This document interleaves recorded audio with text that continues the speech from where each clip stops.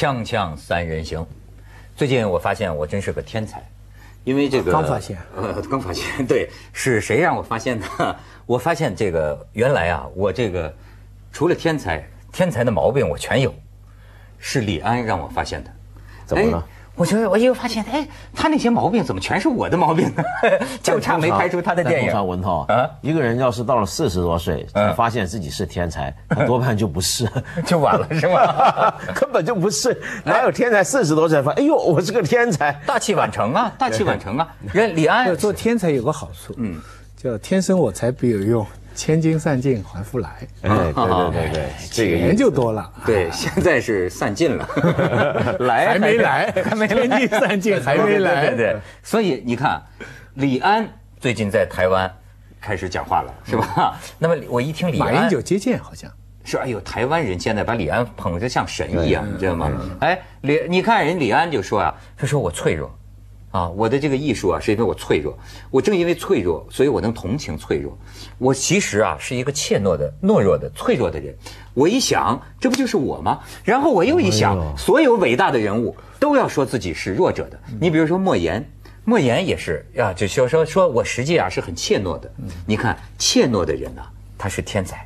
你知道，所以我很高兴。不是应该这么讲，这么多年，很多天才都很怯懦，但不一定能够反过来说怯懦的人就是天才。这是个大一逻辑。我肯定，我肯定，真的，那是领导上不让讲什么，我从来就不讲什么，你知道吗？你们讲的这个话，对吧？我有时候咔嚓咔嚓，我都给你们剪掉。我都知道，这天才啊，天才才能这样，是吧？所有花都有颜色，但不代表所有颜色都是花。行，那这个我就说李安这次讲的这个。事儿啊，有点意思。李安呢，平常他你看他就是怯懦，平常做了一辈子好人，哪敢说个不字啊？但是呢，最近你有一点就不像李安，哪点？人家李安在家里怕老婆，烧菜煮菜煮了好几年，你自己反省反省吧。继续继续，没错没错，继续继续。那我还要找飞。你看小男人，我还要他哪里像嘛，对不对？所以还缺一课，还缺一课。不是，这不叫缺点，我说我具足了天才的缺点，这是人李安的优点，是吗？而且。李安这是说什么呢？他就是说啊，这个我觉得他最近有点这个卧虎藏龙啊，有点这个这个脚踢北海苍龙，拳打南山猛虎的意思。怎么开始骂人骂了？当然不算骂啊，他还是显示出他这个谨小慎微的性格。你看他在这个论坛上先是说说这个台湾新闻，我回来看了几天。就是这种啊，小猫小狗啊，鸡毛蒜皮充斥着全部的空间。他说：“拜托啊，这个台湾的电视人，你们争咱们争点气好不好？”好，这个有道理，同意，呃，完全同意。恐怕这是华人世界的共识。但是你看李安呢，这个论坛快结束的时候又出来说：“哎，对不起啊，我刚才说话说太重了。” 他还他这个人，你知道吗？哎。所以你知道最近这个这个他提到的这个病啊，也是台湾的某些共识。呃，听说台湾有人呼吁啊。这个凤凰卫视尽快的这个落地台湾，你听说了吗？我听说。过，好像连龙应台都开枪说这个应该考虑嘛，好像有点这个意思。龙应台说的是是反过来反过来的话，我跟你说是一个我挺佩服的人，就是姜炳坤。嗯，我当然我对这些会海协会。前前前海基会海协会的那个头嘛，就是台湾那边的。这个姜炳坤，前些阶段我在一个论坛上有机会见会过他，哎，我才开始有点佩服。你还别说，人家台湾的这个一个人物啊，官员呐，这个这个就是说，你看，他讲什么呢？他讲台湾的情况很熟悉，我不奇怪。他当时跟台商讲啊，原来他对整个的这个江浙这个地方，哎，就说这个这个经济企业这个数据啊，如数家珍。我觉得一个台湾人就是讲话呀，跟我们的这个。总理省长一样，你知道吗？登对对对大陆的这个经济的数据啊，这几年的经济的发展呢，包括小企业、中小企业的情况，哎，能够熟悉到这样一个程度，还真是挺值得佩服。要投资嘛？啊，对呀，对呀，是啊，可见国民党这个用心啊。江，所以 所以是江炳坤提出来，就说台湾应该引进。中央台的国际新闻，嗯，和凤凰卫视，嗯，所以这因为呢，台湾人不看就没有台台湾电视没有国际新闻，没有国际新闻。说这样的话，我们这个岛民怎么能有国际视野呢？哎，你们你你就是台湾长大的，你你你你觉得台湾有这问题吗？台湾以前没有，恰恰相反，我觉得台湾曾经一度是华人世界里面国际新闻做的最好的地方，在八十年代中期之前都还是。嗯，那个时候他有很多大报，那些传统的大报，像《联合报》啊、《中国时报》，他们的老板都是一些有一些文人的风骨跟意识，又有商人手段、政治家视野的人物。很强调，就是说他们什么地方都要有特派员，然后怎么做新闻，很努力的学日本、学美国那种做报纸的方法。但是我觉得台湾的变化是它民主化之后啊，我常常这么讲，听起来好像在反民主，其实不是，而是要了解到它一民主化之后本土化，就本土化。而本土化之后是什么意思呢？就是说，他最关心国际的时候，其实是他最不能关心自己的时候。嗯，什么意思呢？呃，戒严时期，两蒋都在，呃，你本地的新闻，台湾岛内的什么政治新闻，很多言论禁区，很多像你这样的人要去咔嚓咔嚓，然 后很多东西不能出。嗯，那然后大家呢，都都只好很关心国际。你坐个出租车。那个师傅一上来就说，当前的冷战结构依据普林斯顿大学学者，就是就给你来这套。我跟所以你讲，我跟你说，我这个你看，我们我们凤凰卫视现在基本上都变成国际新闻台。对对对对，我们每个人能说的就是国际啊，你知道吗？就是这样，一样一样道理。嗯，然后等到他一民主化了，就终于可以弹自己了，然后就忽然发现，哎呀，我今天发现我这个脚趾头。这个左边这个指甲长得这么好，你看以前老看什么普林斯顿学者讲什么，我就没注意这玩意儿，然后就开始天天注意这东西了。嗯，其实凤凰台在很多人看来，它上面很多台湾的人嘛。记得有赵少康有节目是吧？陈文茜啊，对对啊，陈文茜，对李敖，对，播音员也一大堆嘛，吴小莉，对不对啊？那我个们有容乃大呀人。人人家乍一看台湾在，这不就都是台湾的吗？将来这个，我觉得进台湾非常呃呃也名正言顺，多一些阮次山这样的节目就好了嘛。龙应台看得很亲切嘛，对不对？台湾人不一定啊。你刚才讲这个龙应台，他是说的是什么意思呢？他这个就是说，呃，要对等，说你要就是说要说我承认这个凤凰承蒙他夸凤凰卫视的国际新闻办得很好。说，但是呢，这个这个东西要要对等，就是说这个呃，台湾的电视能不能去大陆呢？但是我要告诉他，你们台湾电视早就去大陆了，那家伙那个康熙来了，大陆人，呃这这家喻户晓，对吧？但他讲的是整个频道嘛。那，整个频道，但是我觉得也也没关系，多点迎客松不就行了吗？对对对，忙碌一些嘛，没事是是，因为你比如说像台湾的新闻啊，我觉得现在看起来，呃，很奇怪，台湾这个国家就是这个地方，台湾这个地方，它现在已经整个岛，它的视野怎么会那么急剧的萎缩？看内部，呃，很多人都觉得很难理解。你包括台湾很多学者，教传媒的学者，呃，包括台湾做出版的人，因为另一方面，台湾的书还是出很多关于世界各地的消息啊什么，那你只好说它出现一个很大的一个两极分化。嗯，这个两极分化就是说，也许我们在书店看到那么多什么谈国际旅游啊、国际历史、国际时事这些书的读者，来来去去就几千人，或者一两万人。那这一两万人恰恰不是电视要捕捉的最大众的对象，而大众则全部都在电视台、电视机那边，这是一点。第二点就是，他们把呃电视已经彻底当成一个就是做娱乐的一个东西，对没有人认真的看电视。对那么所以你电视国不国际、严不严肃又有什么关系呢？所以台湾呢很有意思，他们也在说，说是这个呃也台湾人也质问，说这些管电视台的这些头头啊是精英，是有文化的，不是那种就是狗仔队，不是这些人，所以他们就很奇怪，就说这个一代传媒精英，你们管理的这个电视台怎么弄得没有国际新闻收视收视率啊，啊？然后呢？而且你看很奇怪，还有一个叫王伟忠，咱知道吧？当然知道，王伟忠是台湾综艺节目教父，嗯，多少包括这种这种综艺节目啊，都是王伟忠他们这个策划的，嗯。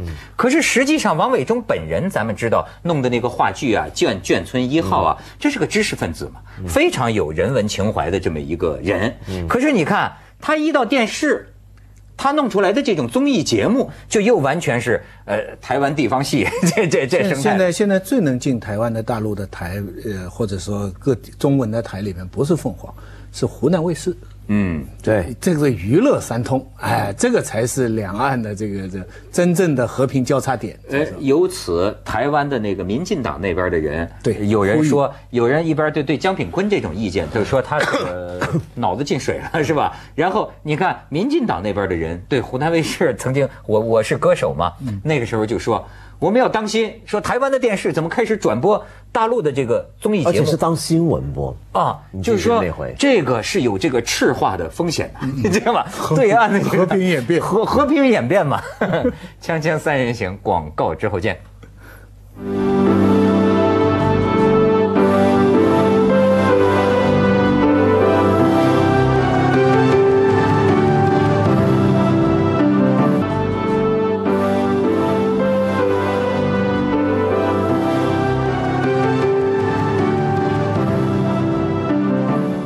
但是啊，就是很多时候啊，外来游客和本地人的担心呐、是完全是南辕北辙的。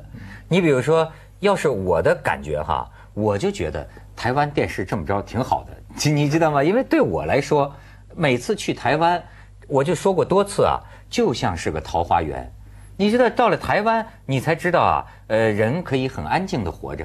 就是很悠闲的活着，而且你说台湾电视不好看呐、或者你说台湾电视没有国际新闻呐、我这天天讲国际新闻的都讲烦了，你知道吗？所以我在台湾，我在酒店，我躺床上，我能看一天台湾电视，我觉得很好看。它只是它只是本土台本土新闻多一点，它其实频道的选择是非常多的。它只要装个碟哈，它这个 CNN 啊，这个 BBC 啊，还有什么 Sky TV 对啊，这些新闻全部是直播的，而且有一个专门播歌剧的台，整天播德国的歌剧。全配上它的中文字幕哦，嗯，很厉害啊，说明它有。你想这个台一直能够播下去，就说明它有固定的观众，没有选择。而且你知道，他把欧洲那些歌剧，他已经新到什么地方？就明明是瓦格纳那些歌剧，都是穿的现代的服装，用的现代的背景，是整个是一个德，连美国都很少人看这样的歌剧台，台湾就一直在播。我在想，这个台要在香港，要在大陆播不下去啊，你很快就会有反馈说，我我这个。点点数太低啊，对不对？我为什么这个这？可是他在台湾就有收视率。可是他其实成本很低，它这个东西成本很低。他他他们但是它都打字幕啊那个字幕太便宜了。你现在找一大堆这种。这种留学生啊，什么随便搞一搞、瞎搞一搞，很便宜。我觉得问题在哪？这就是刚才我讲，很多地区啊，很多别的国家或地区都有类似的情况，就是说它的媒体自己做了一个功能区分了。嗯，就他自己的报纸、自己的杂志、自己的电视不好低俗没关系，因为他们的精英不看这些。嗯，他们精英看什么呢？他们精英直接看一些外国的东西。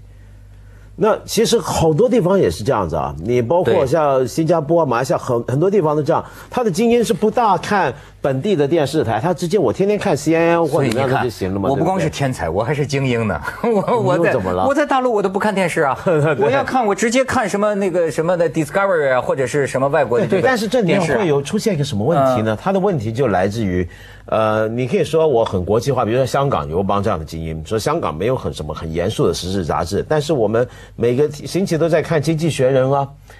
但问题来了，《经济学人》的观点跟视角，其实还是英国式的。那是否表示本地的精英就没有一个自己的利益所在、兴趣所在或观点视角，就看这些东西是直接跟英国人呢？就等于说，你说看国际新闻能不能够真的就全部都看 BBC、CNN 加这个呃呃半岛呢？对不对？因为这是人家表达一个某个地区某些人的特定的一个观点嘛。但是你刚才讲是 Discover 这些哈，包括我刚才讲到的那台湾能看到的高清的世界上的这很多台，我看来大陆都能够播，没有什么政治性的，嗯，国家地理啊、探险啊、旅旅游啊、烧菜啊、富国际的烧菜的节那种 food 目啊，我就不懂这些台为什么大陆现在高清的那个硬件很好了，高清台越来越多，但是你看到的节目选择真的非常少，对不对？要么就是相亲啦，要么就是不断的歌手啦，最强音啦，什么什么什么不断的来了，要么就是跳水了。再接下去该怎么办？你就是世界上有很多很好的，它没有什么政治性。我们先不讲政治性该不该，至少那些台你全部二十四小时在放，都不需要迎客松的。我就不明白这些台为什么不在中国大陆落地。嗯，我这是实在不明白的一个道理。不明白也就这样了。然后呢，我就跟你说，台台湾的，你刚才讲啊，台湾的电视台和大陆的电视台其实有一点倒很相像。为什么这次哎，文道你得往这边坐，让大家看见你后脑勺了。为什么就是说？他们说台湾的这个台啊，整天就播这种小猫小狗的这个新闻，充斥着这些。他们不是有批评吗？台湾媒体人分析，其中一个重要原因呢，就是电视台太多了。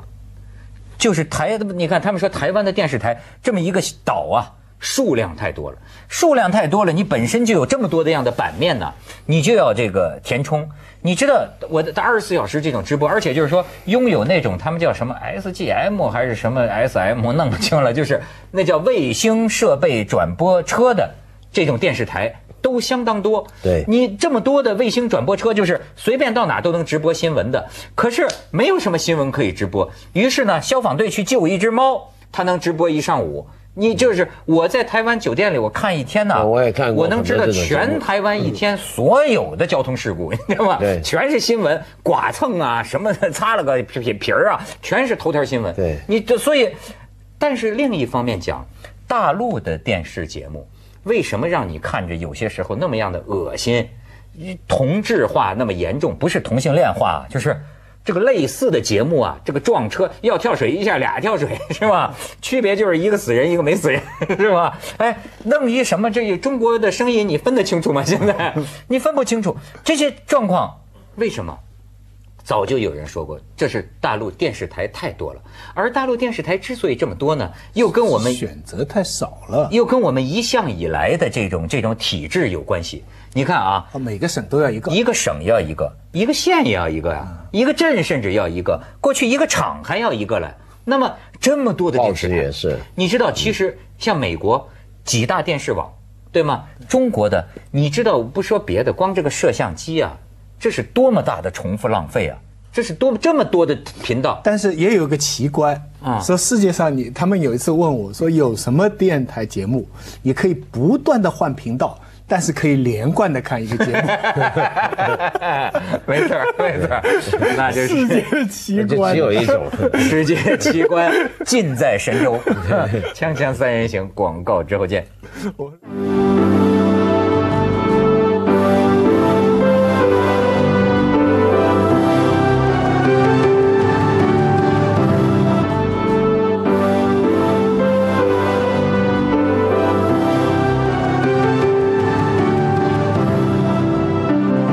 这个这次李安也说一个，他就说因为一见面啊，就说这个爱台湾。